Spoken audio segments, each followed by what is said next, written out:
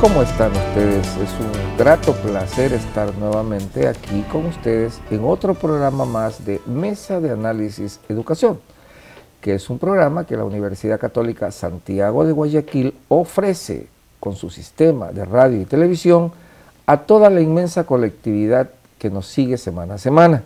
Llegamos a todo el mundo, no solo al Ecuador, a través de nuestra web, UCCG, RTV. Eh, podrán ustedes sintonizarnos en cualquier momento si usted busca la web. Eh, hoy tenemos un programa muy interesante, vamos a hablar de la enseñanza de matemáticas, pero con fines competitivos, ¿verdad? Correcto. Eh, vamos a hablar con el ingeniero Fernando Alberto Álvarez, que es el, el principal de eh, una organización sin fines de lucro que se llama Olimpiada Matemática Ecuatoriana. Y Fernando, el ingeniero Fernando Álvarez, nos va a explicar eh, realmente cómo ven ellos, profesionales ecuatorianos jóvenes, cómo ven ellos la formación de los matemáticos, ahora sí con vistas a, a competencia, ¿verdad?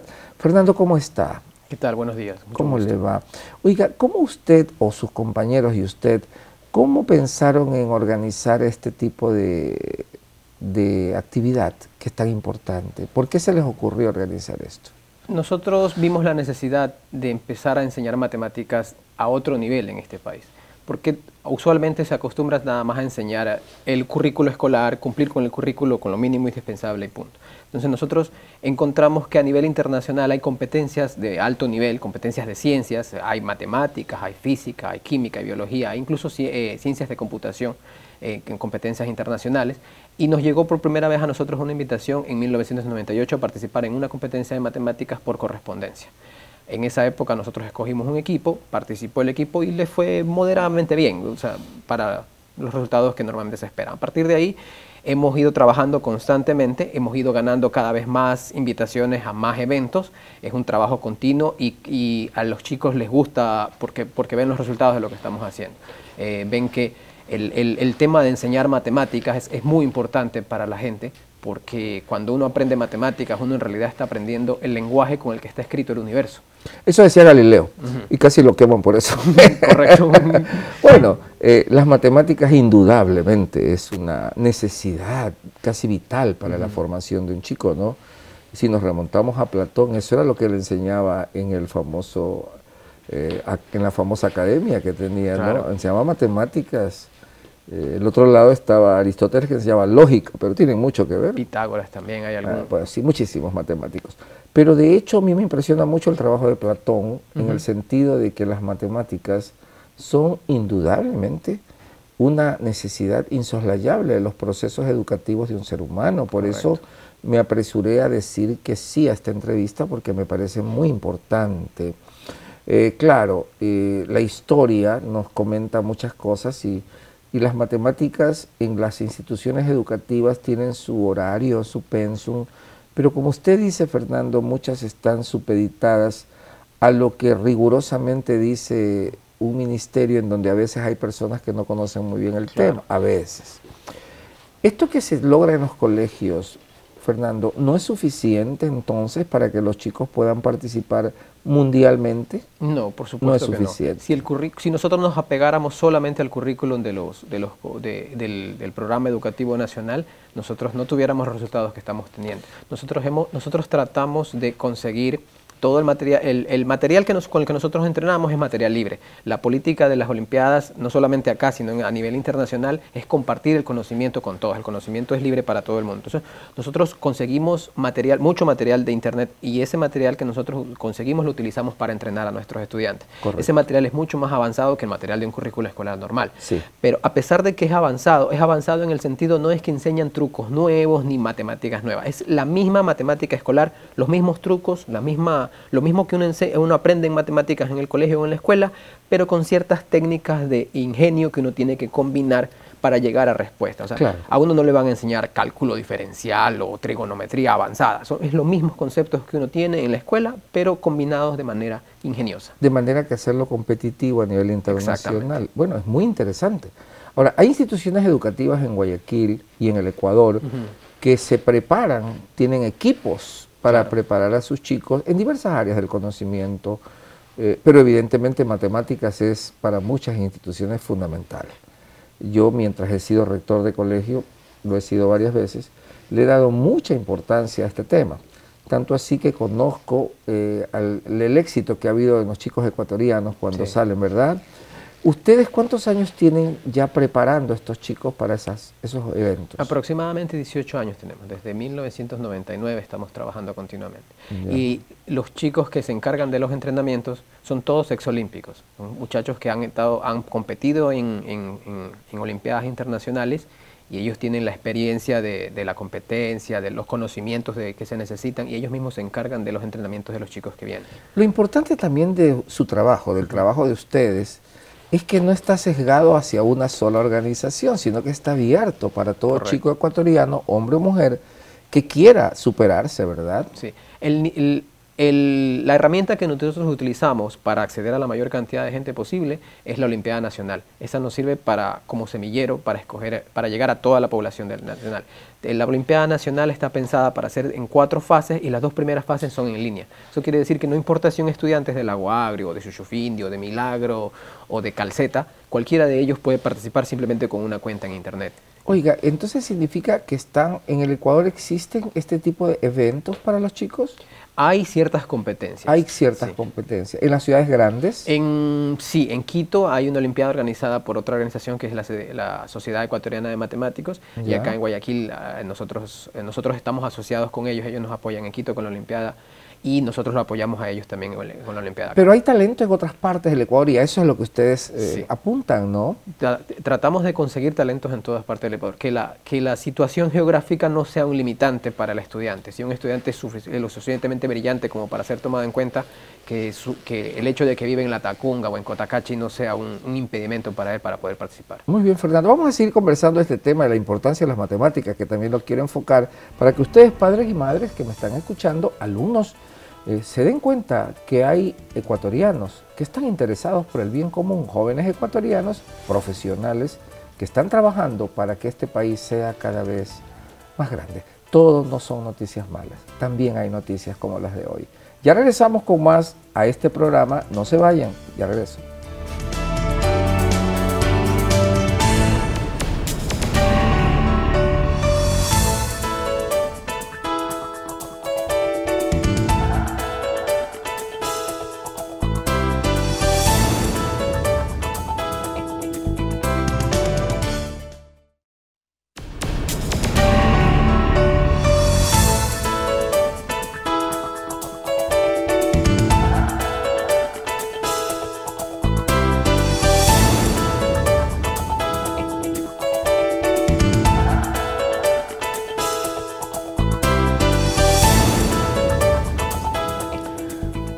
Amigos y amigas, continuamos con este programa y evidentemente estamos hablando de un tema de palpitante interés para la educación, por supuesto que sí, las matemáticas, la enseñanza de matemáticas, la preparación de los talentos ecuatorianos para participar internacionalmente con sus pares científicos.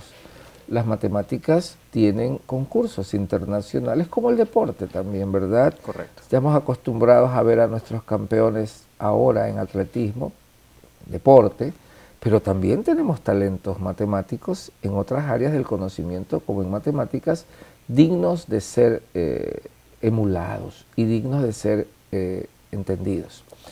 ¿Por qué las matemáticas es importante para un joven, para un estudiante de colegio?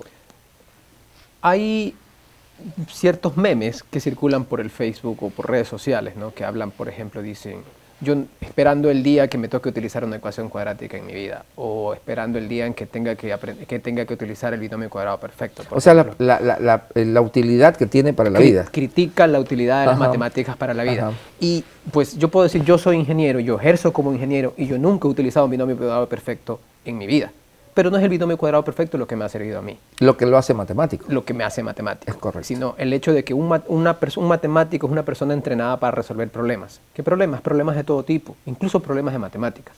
Yo cuando estaba en mi adolescencia, para poder aprender a desarrollar o a resolver un binomio cuadrado perfecto, mi cerebro tuvo que crear ciertas sinapsis que no, me, que no me las voy a quitar, se van a quedar ahí para siempre. Entonces esas sinapsis, esas, nuevas conexiones que forman en mi cerebro quedan para siempre y me ayudan a mí a resolver cualquier tipo de problema en el resto de mi vida, no solamente para ecuaciones o, binomios cuadrados perfectos, como decía hace un rato. En realidad la utilidad de las matemáticas es que a uno como ser humano le enseña nuevas alternativas para poder resolver cualquier tipo de problemas, no solamente problemas de matemáticas.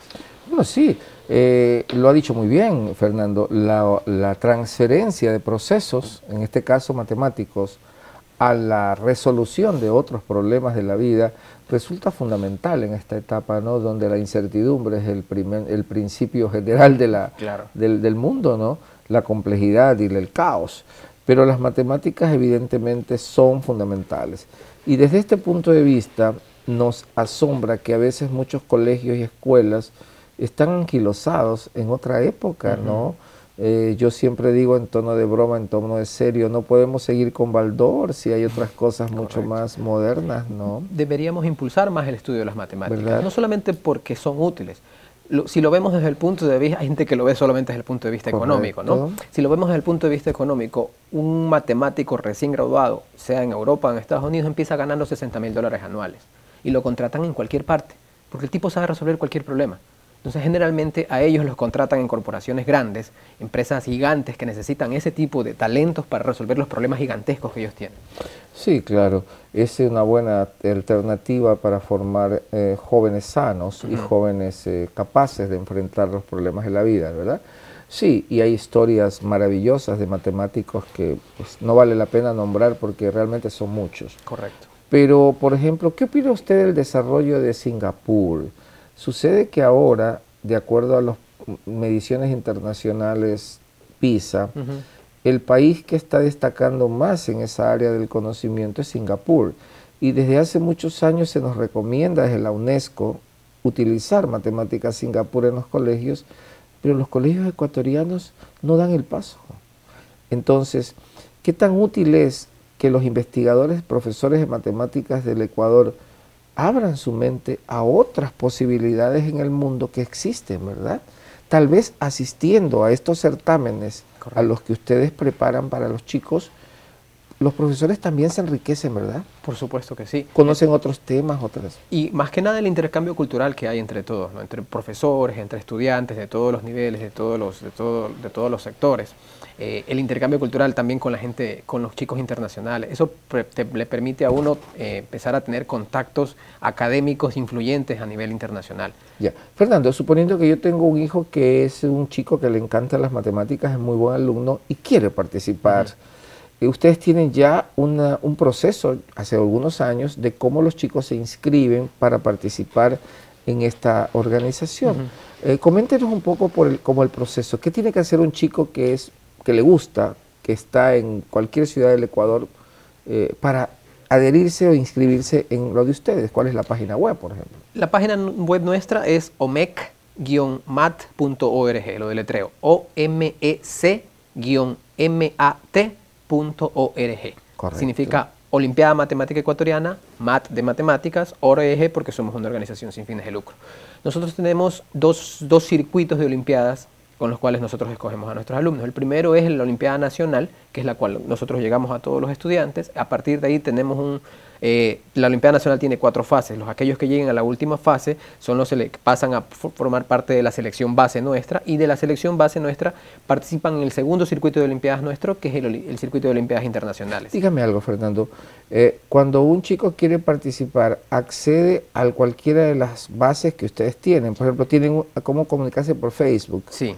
Por ejemplo, ¿cuál sería el, el, URL con el que se pueden comunicar? ¿Dónde lo buscan? ¿Cómo lo buscan? Olimpiada Matemática Ecuatoriana. Olimpiada Matemática Ecuatoriana. Sin ese, Olimpiada Matemática Ecuatoriana en Facebook. Correcto. Y pues eh, también en la página web que usted le acaba de decir, para que se comuniquen con ustedes y, y digan su interés, ¿no? Todas las comunicaciones que nosotros hacemos, las hacemos en línea porque es la manera más fácil que tenemos de llegar a todo el mundo. Todo el mundo está conectado a Internet, especialmente la gente a la cual nosotros nos dirigimos, que es la nueva generación, los centennials.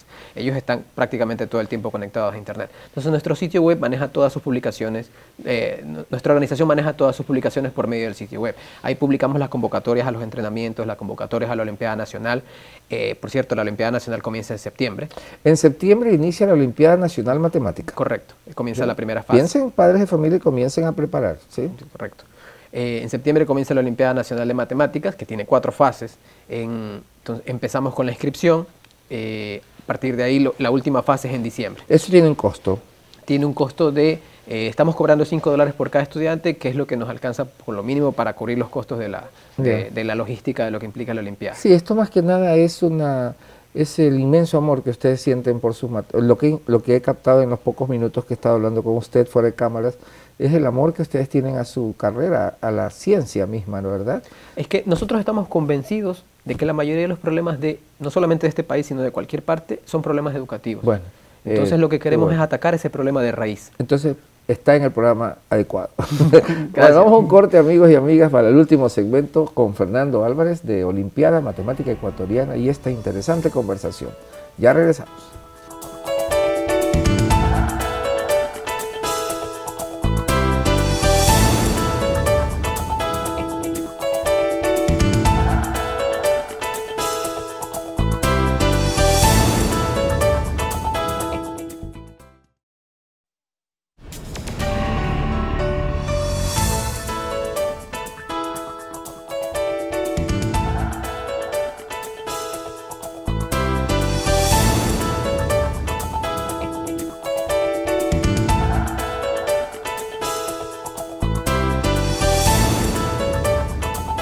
Amigos y amigas, pues estamos en un programa hablando de la educación en las matemáticas, pero para formarse a participación internacional y nacional de talentos. Y evidentemente la pregunta que me salta, Fernando, es, eh, ¿puede hablarse de un talento especial en matemáticas? O sea, ¿pueden haber chicos que vienen con ciertas características para ese tipo de concursos internacionales? Claro que sí. Nosotros nos hemos dado cuenta que todos los seres humanos somos, somos matemáticos por naturaleza. Y de hecho esa capacidad, ese perfil matemático con el cual todos nacemos es mermado a través del tiempo por presiones sociales.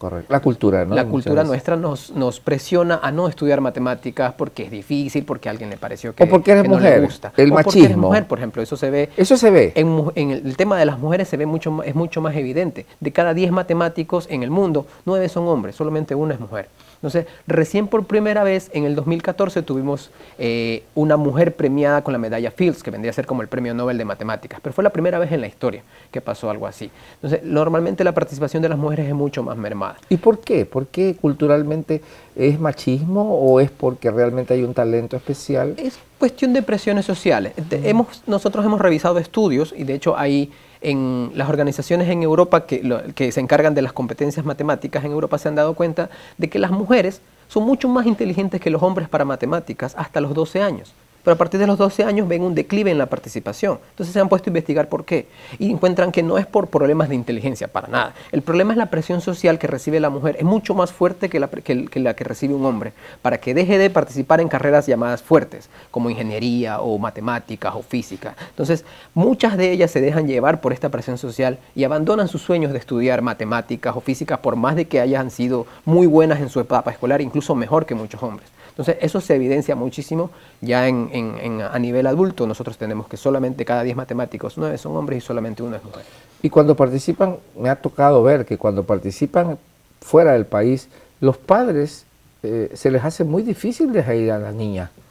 Eh, permiten al varón que vaya, pero la, nuestros padres son muy aprensivos. Es la cultura del, del, ecuatoriano y del latino en general muy sobreprotector y sobre todo pensando que la niña no es capaz de defenderse en un medio, entre comillas, inhóspito, y se evitan que haya mujeres talentosísimas y que no participen a veces en concursos que tenemos, y, eso está cambiando un poco, ¿verdad?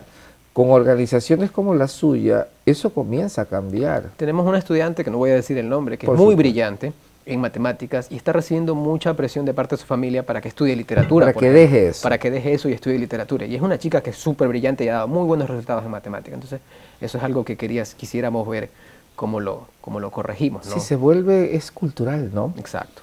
Ya, dígame, eh, si, si, yo quisiera inscribir a alguno de los chicos nuestros eh, o de la universidad, eso está abierto para colegios y escuelas, ¿verdad? Está abierto para colegios y escuelas, correcto.